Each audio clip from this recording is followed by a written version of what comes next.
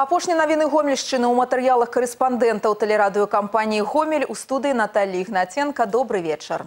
У выканаўчых камітэтах гомельскай вобласці прайшлі чарговыя прамыя тэлефонныя лініі. Толькі ў аблвыканкам за тры гадзіны дазваніліся 36 чалавек. 32 пытанні былі агучаны і перад кіраўніцтвам Гомеля. Алег Сенцюроў пацікавіўся, што хвалюе жыхароў рэгіёна. Аб самым набалелым менавіта так напэўна можна сказаць аб зваротах якія паступаюць на прамыя тэлефонныя лініі ў выканаўчыя камітэты некага хвалюе непрацуючая лазня ў вёсцы некага вялікая колькасць машын на гарадскіх дваравых тэрыторыях толькі областны выканаўчы камітэт за 9 месяцаў паступіла ўжо амаль 1100 званкоў Практыка сведчыць амаль 80% пытанняў, з якімі жыхары гомчыны звяртаюцца ў органы выканаўчай улады, можна вырашыць без прыцягнення бюджэтных сродкаў. Шмат такія праблемы сапраўды выкліканы элементарным нежаданнем асобных спецыялістаў выконваць свае абавязкі. Гомельчанка Галіна Шусева паскардзілася ў абавыканкам на работу гомельскай ветэрынарнай лячэбніцы. Калі захварэла домашняя жывёла, яна разам з мужам звярнулася за тэрміновай дапамогай у гэтую дзяржаўную установу і сутыкнулася з адносінамі, якія нават бюракратычнымі назваць нельга. Он меня стоит, ну, уколите ему антибиотик таким тоном. Я говорю, ну, если вы в 103 позвоните, и вам так ответят, вы что ответите? Вы должны, вы, я же к вам как специалисту приехала, мы вас завезем, назад привезем, заплатим, вы же, сейчас же всем деньги нужны. Не знаю. Чаму дзяржаўнай установе не патрэбны грошы і хто займаецца выхаваўчай работай сярод супрацоўнікаў гомельскай ветлячэбніцы цяпер высветліць спецыяльная камісія адпаведнае даручэнне атрымана ад старшыні аблвыканкама Васюченко, значит, это ваша структура, ваша подвластна вам горосполкому. Значит, выехать, разобраться и показать мне и дать человеку ответ, кто там. И разобраться самым строгим. Нет, пускай идут и ищут работу.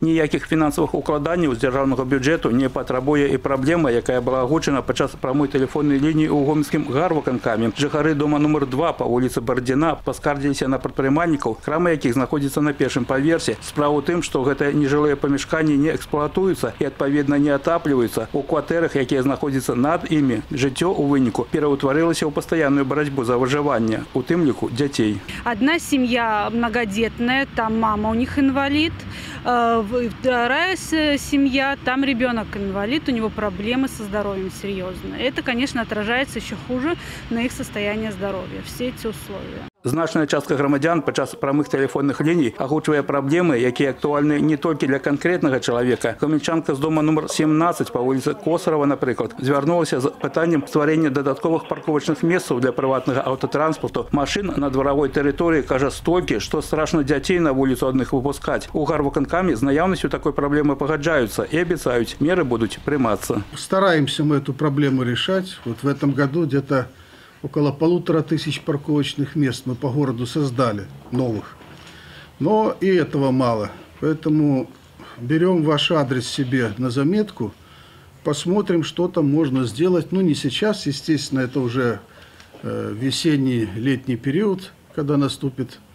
Тогда будем смотреть и будем думать, что там сделать. Олег Сенцюроў, Евген Макеенко, тэлерадыёкампанія Гомель. З 1 студзеня сертыфікацыя тавараў лёгкай прамысловасці стане абавязковай. Адных прадпрымальнікаў гэта заахвоціла спыніць дзейнасць, іншых шукаць супрацоўніцтва з айчыннымі аптовымі пастаўшчыкамі.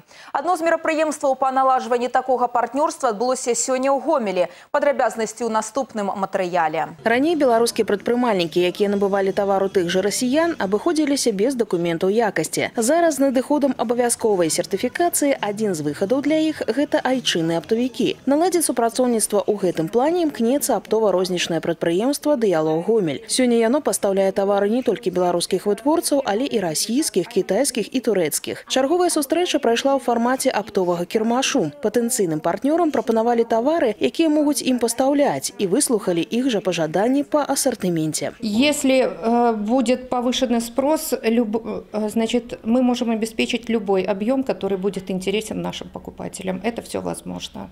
Тем более, что сегодня э, очень интересные предложения Банк развития предлагает, что при заключении с ними договоров и договоров с поставщиками из зарубежья предоставляется, ну, в общем-то, льготированный кредит 8,5% на закупку товаров. Нягледзячы на выгаднае крэдытаванне і гатоўнасць аптавікоў улічваць усе пажаданні, супрацоўніцтва пакуль налажваецца павольна. Прадпрымальнікі, якія за столькі гадоў прызвычаіліся самі ездзіць за таварам, на кантакт з беларускімі пастаўшчыкамі ідуць асцярожна. І гэта зразумела, працаваць з ім яны пакуль проста не умеют. Нужно общаться. Должно быть живое общение между поставщиком и между покупателем. То есть между индивидуальным предпринимателем и оптовым продавцом. Без диалога, без контакта, без фактического предложения товара, без фактического изучения конъюнктуры рынка, то есть цен, ценовой фактор, условия поставки и так далее, никак, никакой работы не будет. Все это будет лишь бумажные отчеты, и это будет ну, бум, работа для работы. А нам нужна работа для того, чтобы был результат, и мы видели э, конечный итог.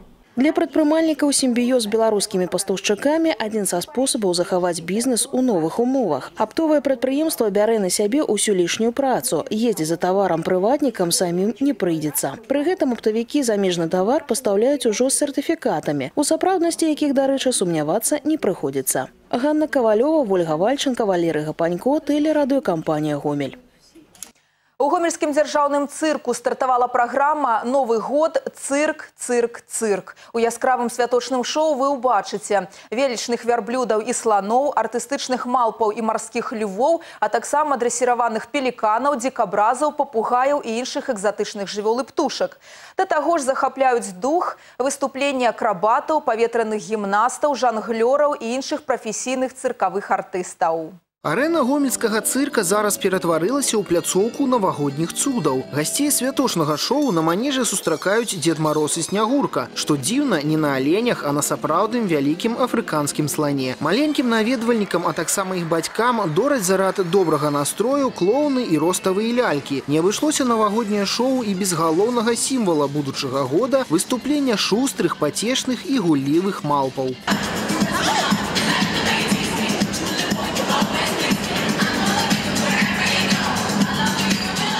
Цыркавы блок Афрыка гэта відовічныя нумары з удзелам малпаў, пеліканаў, дзікабразаў, папугаяў і поні. Усе яны выступаюць пад кіраўніцтвам дрэсіроўшчыка ў трэцім пакаленні Юліі Краўчанка. Што тычыцца малпаў, іх тут 9. Малодшай чацвёрты год, старэйшай ужо 26. Гэтыя экзатычныя жывёлы вельмі адрозніваюцца па характары, аднак усе як адна патрабуюць пэўнага да сябе падыходу. Свой подход каждый. Есть капризные, есть спокойные совершенно. Например, есть холерики, есть сангвиники, да, то есть кто-то любит прыгать не остановишь, вот кто-то очень такой медлительный. Не пакіне абыякавых і атракцыён марскія забавы. Падчас яго на манежы цырка свой спрыт і артыстызм дэманструюць марскія львы пад кіраўніцтвам заслужанага артыста рассіі Мікалая Тімчанкі.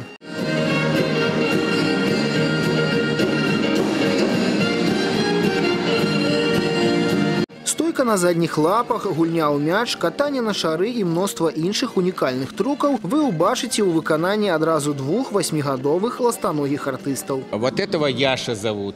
Яшенька, ай молодец, Яшенька, попрошайка, просит. Отработал и просит рыбку. Яша, не спеши, еще у нас одно представление. И другое животное Макс. На манежы цырка таксама віртуознае выкананне гімнастычных элементаў на турніках і батуце, захапляльны дух нумар паветранай гімнасткі, атракцыён дрэсіраваных вярблюдаў, сланоў і пародзістых скакуноў. Усе выступленні святочнай праграмы Новы год цырк цырк цырк сплецены ў адзінае яскравае і відовішнае шоу, якое працягнецца ў гомельскім цырку да 10 студзеня. Вераніка Варашыліна, Дмітрий Котаў, Дмітрий Радзянка, тэлерадыёкампанія Гомель.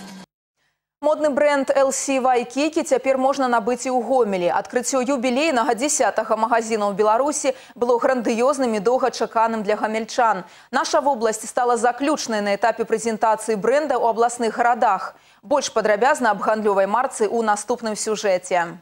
LC Waikiki – это модный бренд одежды, который носят в 27 странах мира. Первоначально французская, а теперь турецкая торговая марка предлагает всем одеваться стильно, удобно, а главное – бюджетно. Коллекция для новорожденных, детей и подростков, молодежная секция и даже одежда для беременных. Пополнить гардероб всей семье и на любой вкус просто вместе с Waikiki. Цель нашей компании – каждый заслужит одеваться хорошо. Поэтому наша миссия – это одевать всех согласно их бюджетам, возможностям и стилям. Не столкнуться с проблемой выбора и люди нестандартных размеров. Коллекции представлены параметрами от XS до 5XL. Кстати, новые товары появляться будут каждую неделю. Кроме того, также часто будут обновляться предложения со скидкой. Порадовала и цена, и выбор, и качество. Акционных товаров предостаточно, начиная от аксессуаров, заканчивая теплыми зимними вещами. Цель компании – угодить каждому покупателю, не отталкиваясь от бюджета. Стоимость одежды тому подтверждение. Девушки смогут найти джинсы за 220 тысяч, мужчинам же самые дорогие обойдутся в 590. Дополнить образ можно рубашкой. Женщинам за 200, мужчинам за 250 тысяч. Очень много чего понравилось. В следующий раз придем с дочкой. Одеваемся и сами, Пришли детей одеваемся. посмотреть в Гомеле. Мы очень долго носим эти вещи, очень хорошее качество и доступные цены. Стильную одежду тут найдут как серьезные бизнесмены, так и модная молодежь. Выбор большой как в классической линейке, так и в кэжуале. Кстати, есть и тематические предложения. Особо актуальна сегодня вечерняя коллекция. На корпоратив, на работу, в ресторан, даже дома. В новогоднюю ночь хочется выглядеть особенно красиво. Купила платье на Новый год. Качество очень хорошее, так как я сама швея, и я разбираюсь в этом. Каждому покупателю уделяют необходимое внимание. Вам быстро найдут нужный размер, принесут в примерочную другой. Если вещь не подошла, предложат альтернативу, подберут полный комплект. Самое время порадовать себя и близких в Новый год с обновленным гардеробом. Катерина Сапельникова, Игорь Марищенко, телерадиокомпания «Гомель».